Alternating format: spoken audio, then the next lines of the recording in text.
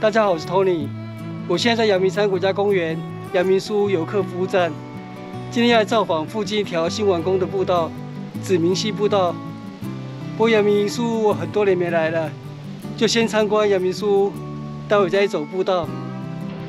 阳明书游客服务站。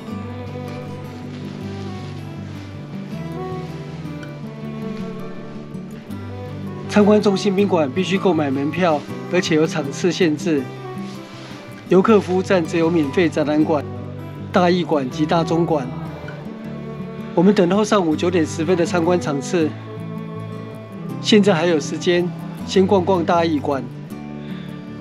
这边展出的是中心宾馆的内部陈设。哦，上一次参观已经是将近二十年前了。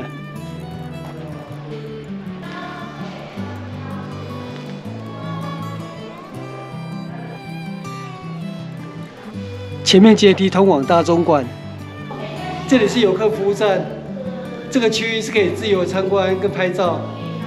待会进入中心宾馆的室内就不能拍照录影了。好，出发了。哎，出发了。哎，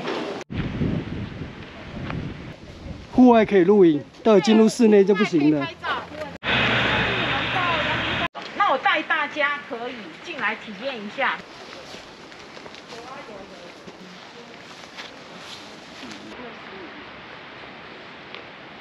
这是龙柏，本来是要种植梅花，但是因为排水不良，所以梅花长不起来，或者是改种龙柏。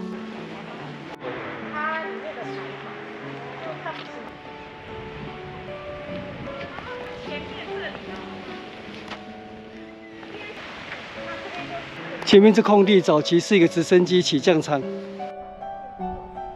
停机坪银色。这是银色中心宾馆的区域，总共有四道防线，以保护国家元首。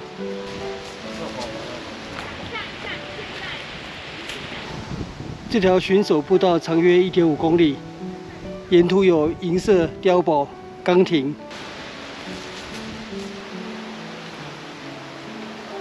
哦，这里有一棵老樟树，樟树依旧在，老蒋已不在。岗哨已成空，下面这些都是军官的宿舍。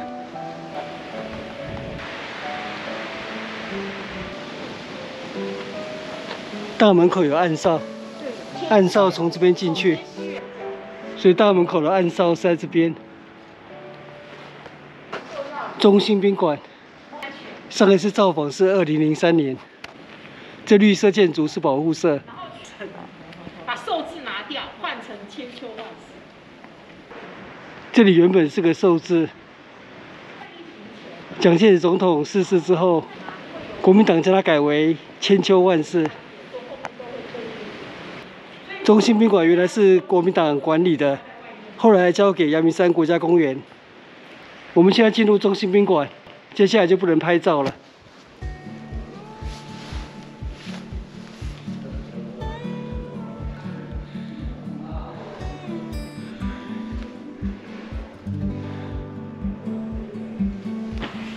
对面是沙帽山，对，这户外阳台可以拍照。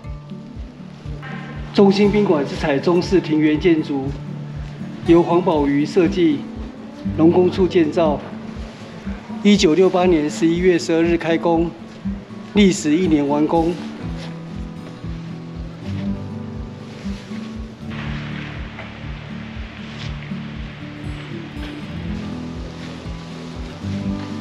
我们现在来到户外了。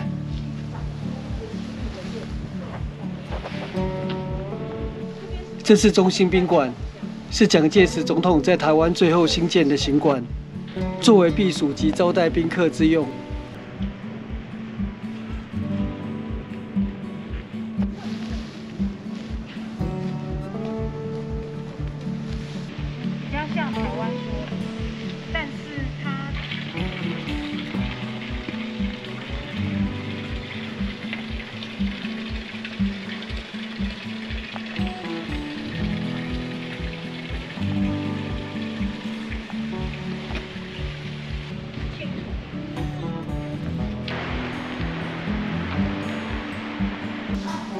差不多参观一个半小时，我们现在离开中心宾馆了。今天第二梯次的游客已经进场了，我们现在进入森林公园。中心宾馆占地十五公顷，原为阳明山童军营地。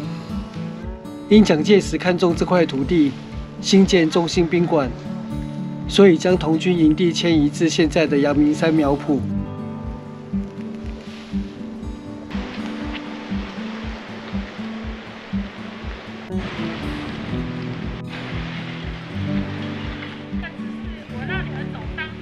谢谢谢谢。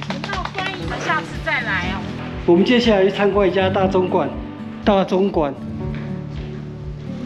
大中馆展出阳明山国家公园相关的资料。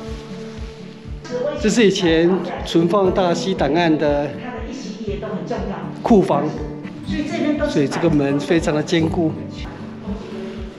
这个门有三十公分厚，是摆设重要档案的地方。现在变成展览馆了。大溪档案又称蒋中正总统档案，现在档案已移交至国史馆典藏。哦，里面的展览资料很丰富。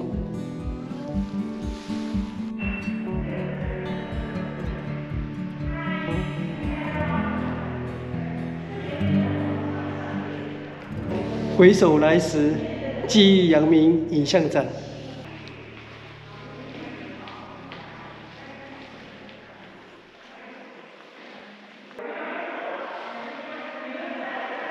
我们现在离开阳明书屋游客服务站，走往子明溪步道，大概走三四分钟就看到步道了。这条马路是中兴路，通往阳金公路。旁边这里就是子明溪步道，可以环绕一圈。我们先取右行往下走，子明溪步道。这是新完工的子明溪步道，全长差不多八百公尺，就沿着子明溪的西岸而行。子明溪是黄溪的上游，也算是一条温泉溪。哦，这是温泉出水口。哇，整个溪弥漫着硫磺味。前面有小水泥桥，过桥到对岸。然后再从另外那边往上走，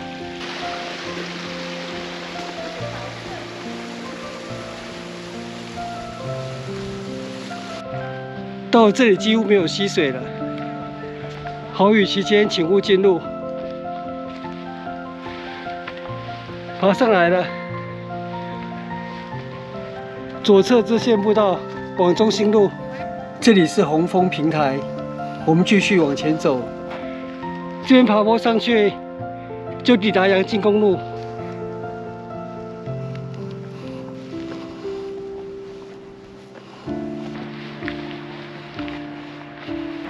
步道的出口就在中兴路阳金公路路口。子明溪导览图，我们刚从阳明书屋走过来。从这里进入子明溪步道，绕了一圈，抵达中心路路口。我们待会就走到路口平台，然后再从这边进入子明溪步道，回到阳明书，刚好是环绕一圈。中心路，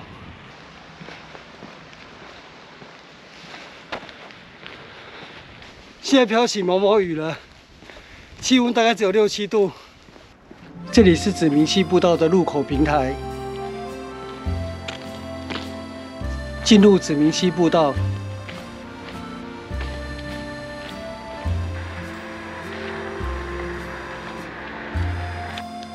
我们从这里离开步道，走往阳明书。我们回到阳明书游客服务站了。回到阳明书屋停车场了，这里是智联泳馆，早期有车库、调度室、通讯办公室、警卫班，碉堡等建筑，造型独具的车库，屋顶呈 V 形状，是蒋介石总统在台湾保存最完整的车库之一。子民西步道是一条很简短的步道，所以如果要造访这条步道的话，建议也可以顺访阳明书屋。那我们今天的阳明书屋子明溪之旅就到这边结束，谢谢收看，我们下次见，拜拜。